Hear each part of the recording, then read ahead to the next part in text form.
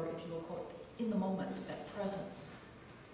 Uh, near the end, Foss accents the meaning through the orchestra, specifically the words the gaps and the valleys hiss, um, the, the water references too, musically, the stepwise patterns um, in the upper strings and winds.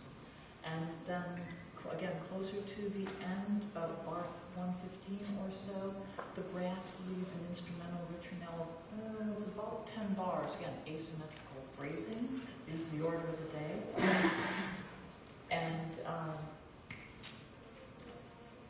in dialogue with the rest of the orchestra and string arpeggios. And by the time we get to the close, the soloist enters with the text, Here a Morning Star. And Foss embodies the meaning of that text with the belief of an augmented fifth. And he, he chooses actively to accentuate the text and the meaning of the morning star.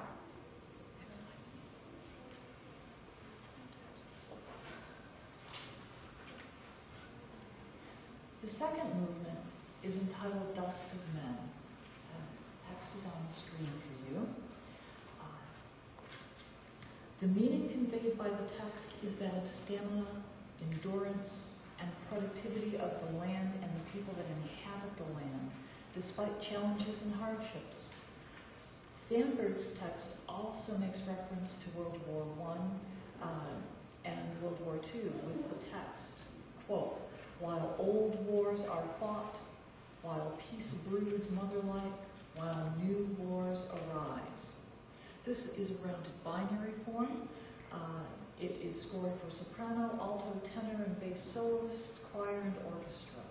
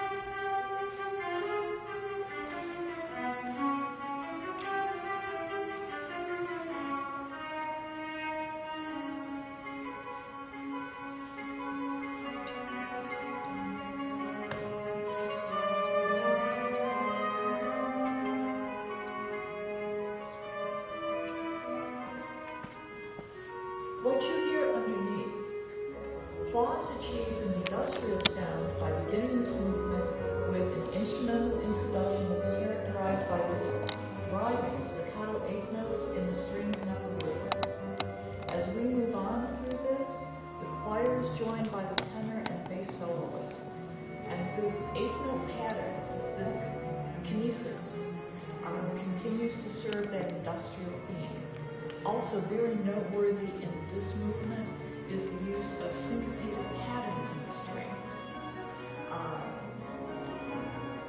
the oboe line that you're hearing here assumes the melody after the string is completed, and following the oboe solo, there's a melodic shape that's transferred to the bassoons, and following that, the lower strings pick it up um, and continue it, and then upper strings. Um, the flutes come in, and finally the entire string section takes the movements, staccato, eighth note pattern,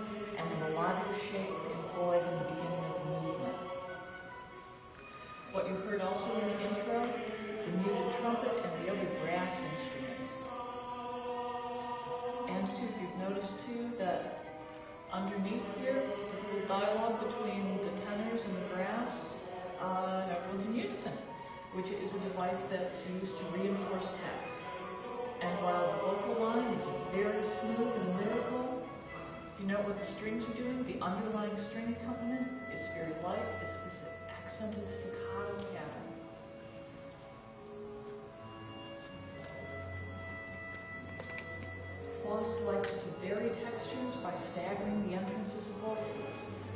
The tenor solo is in the upper um, extreme part of the range. Um, our choir here, when they they were talking homophonic texture with a capital H. Um, we have classic vocal lines.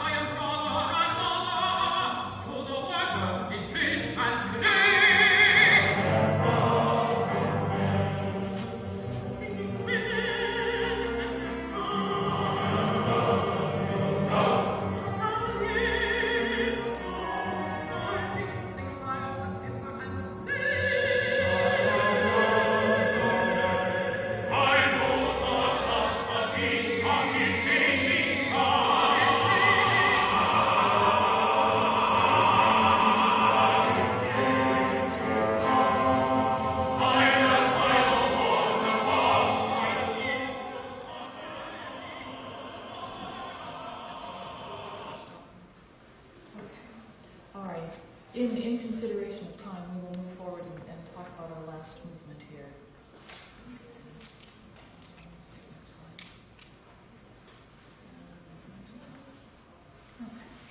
Alrighty, our last movement, the final movement, tomorrow. This conveys the typically American pragmatic spirit of hope. It begins with trumpet solo supported by muted brass accompaniment. The tempo is moderato, and the trumpet solo continues, oh, about 18 measures or so, at which point the strings, woodwinds, and timpani enter with a very agitated figure, interrupted by choral patterns in the brass. Then the tenor, tenor solo enters about measure 29 or so. And this is very chant-like in its derivation, with the text alternating with the orchestra.